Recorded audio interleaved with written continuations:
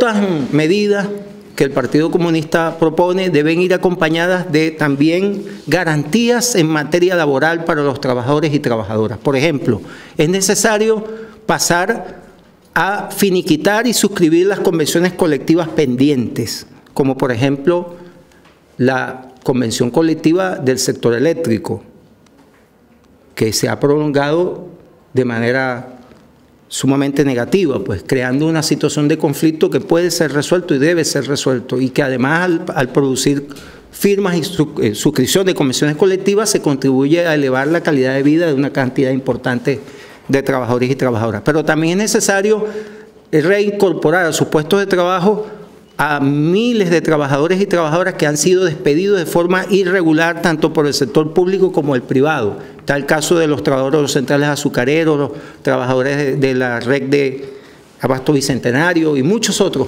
¿eh? también el sector privado. Y en ese sentido es necesario eh, aplicar las sanciones proporcionalmente severas que establece la Ley Orgánica del Trabajo para los patronos privados y públicos que desacaten órdenes de reenganche y que se pongan al margen del ordenamiento jurídico en materia laboral.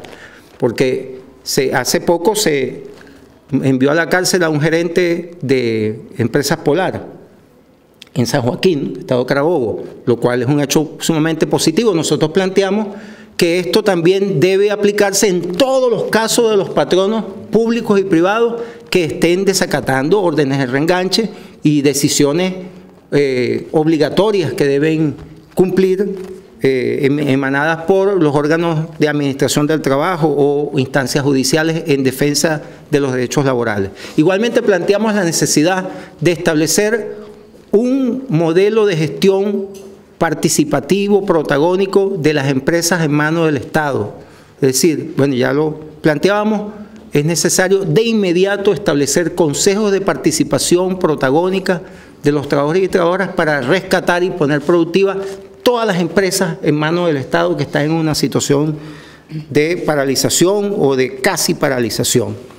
Bueno, estas, entre otras, muchas otras, constituirían esa política integral que es necesario establecer de manera inmediata y urgente.